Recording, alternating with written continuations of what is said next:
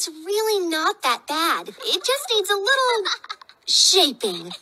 To the salon!